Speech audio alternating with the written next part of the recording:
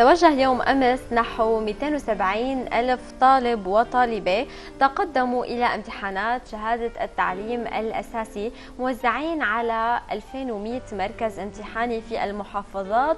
بعد إعلان وزارة التربية في وقت سابق إنهاء الاستعدادات والإجراءات اللازمة لإنجاح سير العملية الامتحانية لمرحلة التعليم الأساسي يلي بتستمر حتى 25 من شهر أيار الجاري. ميسان للمزيد من المعلومات حول الواقع الامتحاني لشهادة التعليم الأساسي. بنستضيف اليوم بصباحنا غير الأستاذ عهد الكنج نقيب معلمي دمشق. يسعد صباحك. صباح الخير. صباح الخير. صباحكم. أهلا وسهلا. صباح الخير صباح أستاذ عهد. أول شيء بدنا نتمنى التوفيق لكل الطلاب. وبالبداية خلينا نعرف كيف كان سير العملية الامتحانية امبارح. صباح الخير مرة ثانية والرحمة كله رحمة لشهدائنا الأبرار. آه، بالأمس انطلق حوالي أكثر نحو 270 ألف طالب في جميع المحافظات السورية لتقديم امتحان شهادة التعليم الأساسي.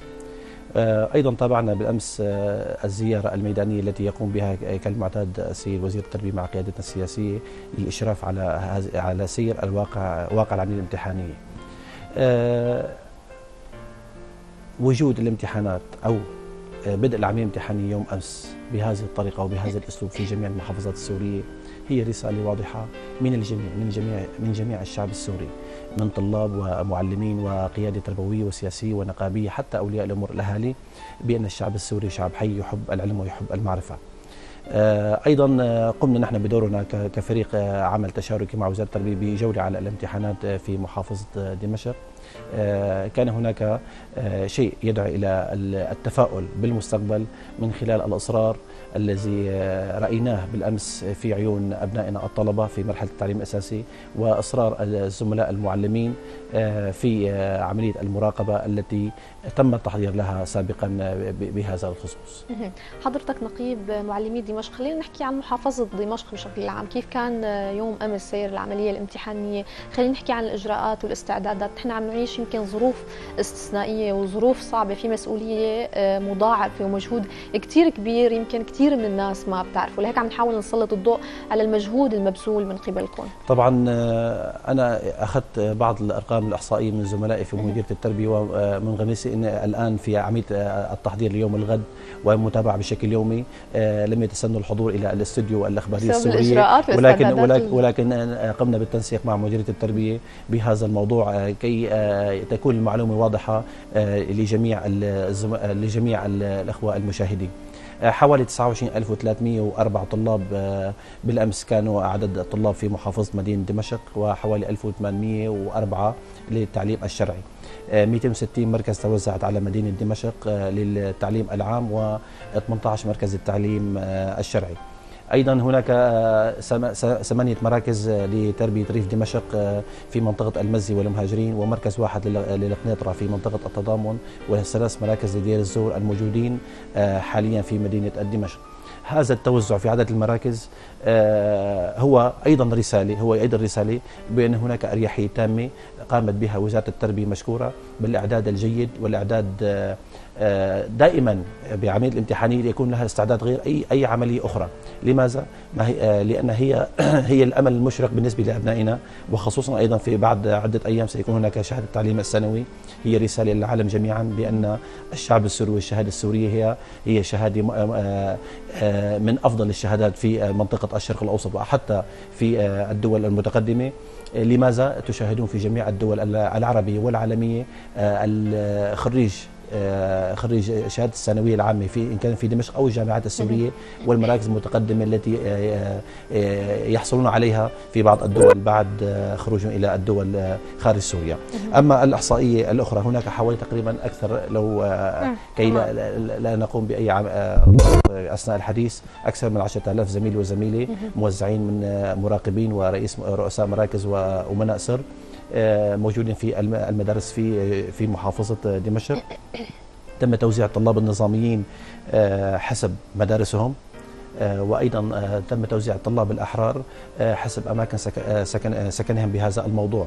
يعني مثلا شخص يسكن في منطقة المهاجرين لا أستطيع أن أضع مركز له في منطقة الميدان حرصا على سلامته وحرصا على وقته كي يكون الوقت قصير بالنسبة لذهابه إلى عمليه امتحانية. آه، أيضا آه، هناك آه، مندوب وزارة التربية من المحافظات الأخرى يقومون بجولة على المراكز الامتحانية بالإضافة لنقطة هامة جدا قامت بها وزارة التربية بتوجيهات وزارة التربية قامت بها مديرية التربية هناك في كل مركز في كل مركز مندوب للتربية.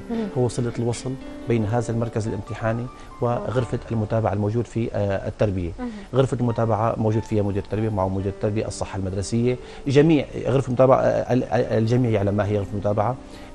للحظ أو لضبط أي حالة تستدعى التدخل في أي لحظة آه، أو أي حالة شغب لا سمح الله في آه، في مركز معين نعم. أيضا آه، لا نبخس حق الجهات المختصة وخصوصا قيادة الشرطة وجميع المعنيين بالعملية الامتحانية أخص المحافظة ونقابه المعلمين و جميع الجهود. يعني عم نشوف في تكامل وتشاركية بين جميع الجهات لانجاز العملية الامتحانية. هذا العام كان هناك استعداد كبير وكبير جدا. آه لاحظناه في الفترة آه منذ عده أيام عندما كان وزير التربية ووزير الداخلية ووزير المح... ووزير آه في في محافظة حمص عندما التقى مع المحافظون وقاد قوات قادة الشرط الشرطه في المحافظات للحظ وضبط العملية الامتحانية.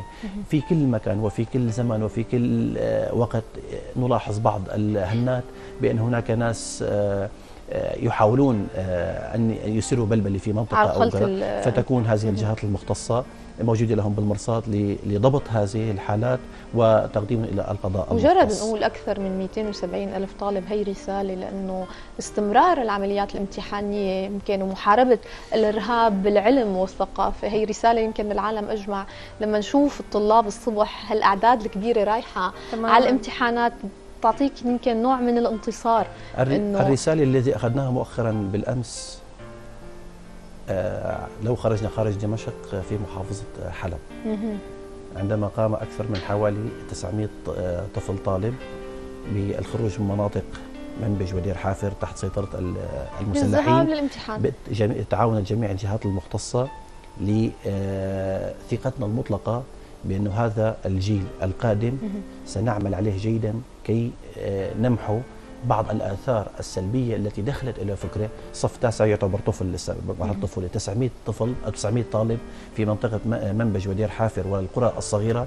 آه، آه، قاموا بتقديم آه، الامتحانات على ما أعتقد بالأمس في في منطقة السفيرة. فضلا عن طلاب نبل والزهراء وفضلا عن الطلاب النظاميين الموجودين في منطقة السفيرة.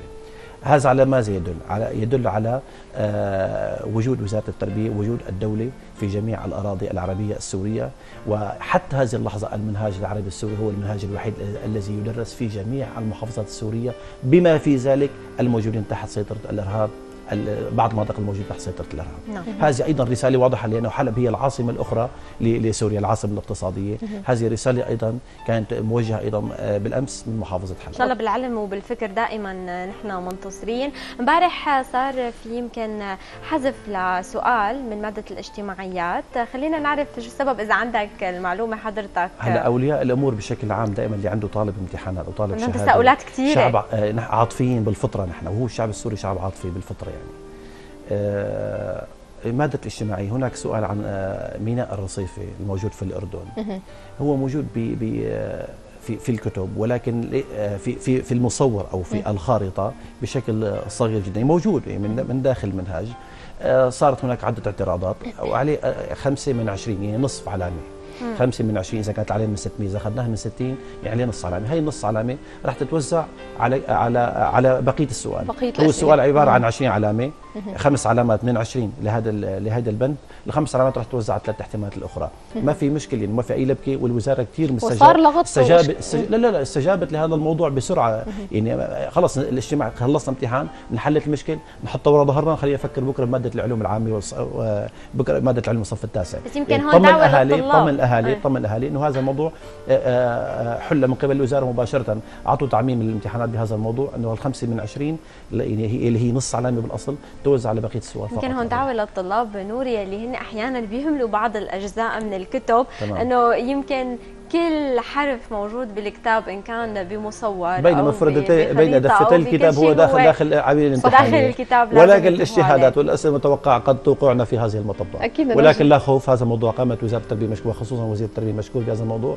حل كان في استجابة سريعة يعني بنفس اللحظة. لماذا تحدثت قبل قليل الجميع مستنفر لإنجاح العملية الامتحانية ان كان في التاسع ولا في البكالوريا. أكيد بنوجه تحية أستاذ عهد لجميع القائمين على سير العملية الانتخابية على الجهود المبذولة بدنا نقول لكم فعلا الامتحانيه الامتحانية يعطيكم العافية. خلينا نحكي أستاذ عهد الإجراءات اللي تم اتخاذها مشان المراقبين. يعني آه، شو هي كانت التوجيهات؟ أكثر من 10000 معلم اتجهوا للامتحانات لمراقبة الطلاب. هلا نحن في محافظة دمشق آه، العملية الامتحانية لشهادة التعليم الأساسي تتزامن مع العملية الامتحانية للامتحانات الانتقالية. يعني المعلم هو بحكم ذاته على رأس عمله. الصبح في المدرسة الاعداديه براقب امتحانات وبعد ساعتين في عندنا مثلا أو ثاني يوم عندنا فحص سابع ثامن أو 10 11 يعني هن حلاوة الموضوع بهذا الموضوع إنه المعلم قائم على رأس عمله غير الثانوية العامة. غير الثانوية العامة. إذا الكادر الكادر جميع متوفر. ولا ولا يجوز الإعفاءات ولا يجوز إلا الحالات الصحية التي تستدعي أن يحال إلى إلى صحة مدرسية ضمن منطقته يقوم رئيس ضمن منطقته. يقوم رئيس كمان. المركز بتحويل الصحة المدرسية هناك لجنة مختصة ومن ثم لا يوجد إعفاء آه، يعطى آه، صحية. يعني آه، كأنه قائم على رأس عمله بهذا الموضوع هذا بالذات. المراقبين موجودين بالعكس لدينا فائض في بعض المراكز. ولدينا مراكز احتياط موجودة في كل منطقة في كل حيز جغرافي مكتظه بالمراقبين. لا يوجد أي خلل من من الناحيه ناحية المراقبين. رؤساء المراكز آه، يتمتعون آه، معظمهم بخبرة. آه، بهذا الموضوع. التوجيهات اللي بتعطوها للمعلمين يعني بهذا اليوم خصيصا إنه يمكن الطالب التاسع أو طالب الشهادة بشكل عام بيكون بحالة نفسية محتاج تعاون كثير كبير من كل يلي حواليه. وهون بيعاني أحيانا بعض الطلاب من إنه الحالة اللي هن بيكونوا يعني فيها الحالة النفسية. إذا حدا حكى معهم أي كلمة ممكن فورا ينزعجوا ما عاد يقدروا يكملوا الامتحان. بالضبط. هلا الحل الامتحانات بشكل عام. هي ثقافة مجتمع. ثقافة مجتمع. يعني تبدأ من البيت وتنتهي بالمد... وتنتهي بالطالب. البيت والمدير والمعلم والإداري والمراقب الجميع. هناك تعليمات امتحانية آه، تليت بالأمس آه، قبل نصف ساعة من الامتحانات على جميع الطلاب. وتزامن امتحان التاسع أو التعليم الأساسي مع صف السابع والثامن عشر والحادي عشر صباحي أو بعد ساعة الفترة الفاصله ساعتين هو يعطي أريحية للطالب بهذا الموضوع. البعض البعض يقول يجب علينا فصل التاسع عن عن المرحلة عن الصفوف هي, هي أول سنة اللي بيكون بها الوقت. ثاني سنة أو ثالثة. آه التعليمات الامتحانية واضحة وصريحة في جميع المحافظات وهي ليست آه ليست قسرية أو إجبارية تعليمات امتحانيه طيب خلينا نحكي عن بعض. أثناء المراقبة أثناء م. المراقبة أنا طالب صف تاسع إذا أنا محضر بالبيت بدي فوت بأريحية وأطلع بأريحية. شو محضريني أهلي؟ شو محضري بالمدرسة؟ على مدار العام كله على مدار السنة كلها بدي أحصد نتيجة. بس يلي بيروح بيكون بباله فكرة معينة. أو إنه بدي أروح أنا أجيب نتيجة بدون ما أدرس هذا بدي يحس بالإرباك. وأنا ما بزعل عليه. بس بزعل مين؟ بزعل على الأهل حتى يبدأوا يعني بدأوا معه من بداية العام الدراسي. هذه النقطة بالضبط. أنا كنت بدي أسألك خلينا نحكي عن بعض الظروف اللي بتنفرض يمكن على الطالب أو المعلم. نحن بظروف حياتية عايشين وظروف حرب. خلينا نحكي عن المراكز الاحتياطية شو دورها؟ يعني أنا ممكن أتأخر كطالب امتحانات على الطريق أتأخر على الامتحان يعني سبعة ونص لازم اكون ممكن أنا أتأخر شوي. أقرب مركز امتحاني احتياطي فيني أقدم عليه؟ خلينا نحكي عن بعض الإجراءات اللي هي آه، للاستفاده منها للطلاب يعني يشاهدونا والأهالي كمان فينا نقول. هلأ إنه يصير تأخير للطالب؟ هي ما بيصير تأخير. ليش؟ أبعد هو ظروف أبعد يعني أبعد مركز امتحان عن أهل عن سكن أهل الطالب ما بيتجاوز خمس دقائق مشي. إذا ما في حواجز ما في أي شيء. مش ما حد يعمل حجة أو أو أي كذا. بالطريق. مراقب تأخر مثلا في مراقب أنا حاط نفوسي في منطقة المسجد وساكن بضاحية قدسية يمكن أتأخر. المركز الاحتياط. شو بيضم مركز الاحتياط؟ في مجموعة من المعلمين زملاء المعلمين والمعلمات. حوالي 200 300 معلم. هدول فائق هدول احتياط. مثلا مركز معين غابت. أو تأخرت زميله من زميلاتي عن عملية المراقبة. رئيس المركز بيخاطب مركز الاحتياط. أنا عندي نقص مراقب اثنين ثلاثة. مباشرة رئيس المركز الاحتياط كم بدنا نحن معلم مراقب مباشر نبعث على المركز المطلوب. ولا يوجد أي حالات نقص في مراكز الامتحانات. وأن وجد المراكز الاحتياطية طيب إذا تأخر الطالب بسبب ظروف يمكن بالبيت ما في توجه أقرب مركز امتحاني؟ مو بالضرورة يكون مركزه ليقدم الامتحان ولا هي ممكن لا يجب ان يجب أن يكون هناك مبررات ومبررات واضحة جدا يعني. ولم تحصل سابقا يعني قل آه، قل ما حصلت هذه الظاهرة. أبعد مركز امتحاني آه، مسير على الأقدام خمس دقائق. وخصوصا وخصوصا الطلاب الأحرار. في أماكن سكنهم. يعني في أعطيك مثال منطقة المهاجرين مثلا. المدرسة الإعدادية موجودة في الجادي رقم أربعة. وين الامتحاني في الجادي رقم ثلاثة أو الجادي رقم واحد. إذا مسير ثلاث دقائق أربع دقائق مشي. هذه العملية قامت فيها وزارة التربية آه، وجهت بهذا الموضوع ونحن في دمشق بهذا الموضوع آه، مرتاحين كثير بهذا الموضوع ليس كبقية المحافظات السورية يعني نحن بنتمنى التوفيق لكل الطلاب وإن شاء الله يا رب بتكون العملية الامتحانية سهلة وبسيطة عليهم وبتمرق على خير وسلامة. وأيضا نشكر كل الجهود اللي عم تبذلوها أنتم بنقابة المعلمين ولكل المعلمين يلي عم يعني عم يحطوا كل جهدهم وكل وقتهم لخدمة هالطلاب. شكرا كثير لك طبعا نقابة المعلمين هي هي رديف حقيقي لوزارة التربية في من خلال العملية التشاركية التي نعمل مع بعضنا البعض. المعني الأساسي هو هي وزارة التربية ومديريات التربية. ولكن آه، ذكرت في آه، في البداية ولا آه، مقولة وأنا سأختم بمقولة كل شيء بالأمل إلا النجاح. النجاح بحاجة إلى جهد بحاجة إلى عطاء بحاجة إلى آه، دراسة على على مستوى العام كي نحصل على النتائج الإيجابية التي يرجوها الأهل ويرجوها الطلاب. أتمنى التوفيق لجميع أبنائنا الطلبة في التعليم الأساسي والتعليم الثانوي. والشكر موصول أيضا لوزارة التربية ومديريه التربية والمعلمين الذين يقدمون جهد مضاعف هذه الاثناء أكيد نتمنى التوفيق لكل طلابنا آه، في جميع المحافظات لأنه فعلا هن فرسان الغد وعم يقوموا بمبذول بجهد مبذول كثير كبير. من وجه التحية لوزارة التربية لجميع آه، القطاعات التشاركية اللي كانت مع وزارة التربية إذا كان وزارة الداخلية أو جميع المحافظات. شكرا كثير لك الأستاذ عهد كنج نقيب آه، معلمي دمشق. شكرا كثير لك يسعد صباحك. شكرا كثير لك